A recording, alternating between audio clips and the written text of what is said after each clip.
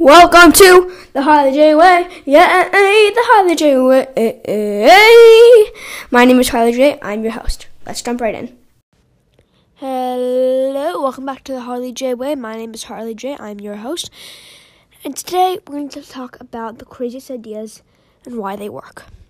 So, one little phrase I love, it's kind of the slogan of the teacher named Kelly Wakasa, and it's the phrase do what excites. It's his little phrase, his little slogan, has it on all his merch. That's literally what his brand is called. Do what excites. And it's all about going crazy and doing what excites. And honestly, that really resonates with me. But I also feel like if you want to make a splash, you have to do something big, do something that grabs people's attention. And no matter what your niche is, whatever you do, you have to make a splash. So you have to. The wait, let me put it this way: let's make a splash. But some people can't afford to make a splash. So, what do you do in that case? Here's what you do. Here's what you do. Make a small splash and clickbait it as a big splash. And if you have that splash, but you use psychology to trick people into thinking it's a bigger splash, then you're not. It's not not actually clickbait. It's all fine. You're fine. So if you were, if I was gonna make a movie, I would probably get a big actor for like 45 minutes to make a, to do a one small role with one line in my film and then just advertise that one cameo as the main character put it in every single trailer put it on all the plate put it on all the posters and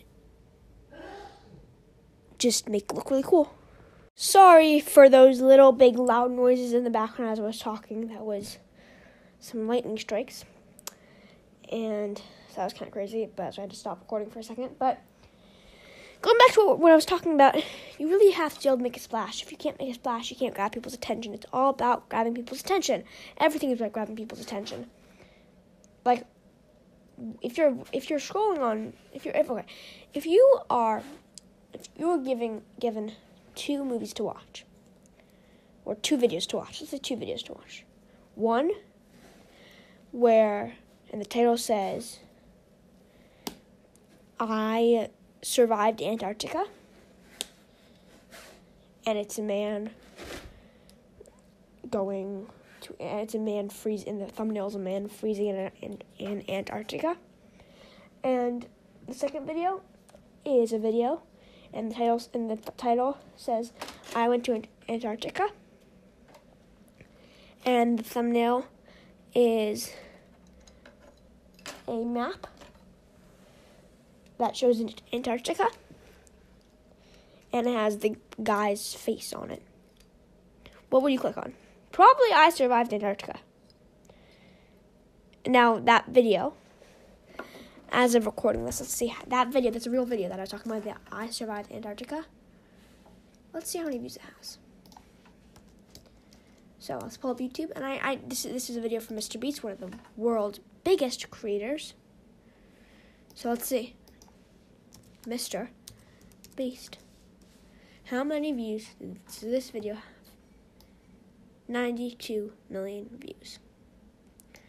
Now, th- this guy, Mr. Beast, he does some of the craziest videos ever I've ever seen. He, his video is like, if you watch his videos, you're gonna know that, like, you're gonna wanna click on them. Like, his latest video 100 blind people see for the first time. Then I, I survived 50 hours in, in, in Antarctica. Hydraulic press versus Lamborghini. 100 kids versus 100 adults. And that's just, of course, the title. But the thumbnails are like, um, are like, are just like, are crazy. A guy, um, in getting in in a building, getting and getting smushed by little big closing walls. That's hard to explain it. Um, a man reaching out of a prison cell, a man reaching out of a coffin with dark circles under his eyes. Like, this is the kind of stuff that makes people click. And that's what you want.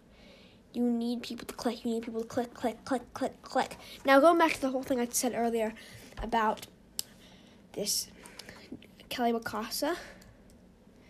And no, Kelly Wakasa. His videos just make you click, and his stuff makes you click. And of course, this isn't just for videos, but it's all still really, it's also really interesting, and it just it makes you click. So his latest video is I traveled one 1,250 miles to surprise my girlfriend, and it's him in the cold touching his girlfriend on the shoulder and her looking back in shock. And then another one of the videos is called, it's titled Overcoming Our Biggest Fear, and it's it's him looking up at a plane, and his friends are behind him, but all his friends are blindfolded. And there's a bit of text that says blind sorry, that says skydiving. So, and there's just a lot of stuff there. And uh, my favorite video is it's called Do Excites because his whole thing is Do Excites. And in this video, that I, just the title is just Do Excites, and the thumbnail is him looks like an old photo from a long time ago. His eyes are red, and um, just and his finger is like is like stuck, not stuck his fingers like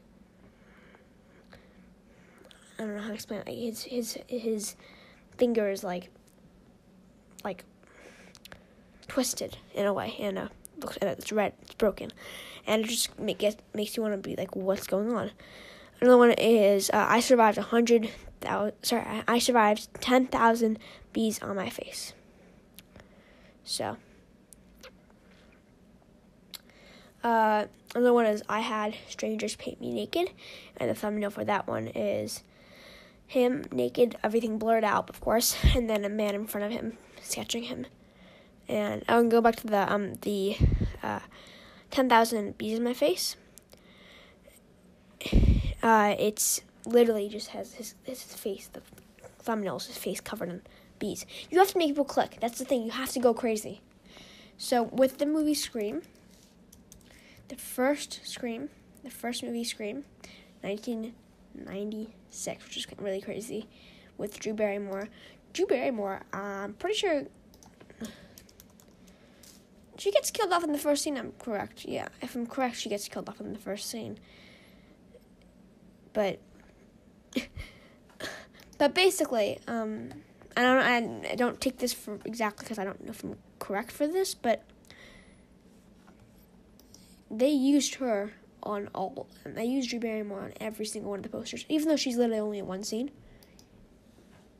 Actually, let's see. Um, Drew Barrymore character scenes. Yeah, she's only in one scene. She's literally only in the first scene, but she's marketed on every single one of the posters. You have to do that if you're making a film literally just put advertise your smallest cameo, but the, well, your biggest cameo. Sorry, that's the, sm- the smallest role. That get get someone big, like someone famous, to do the smallest role, and just yeah, that's how it works.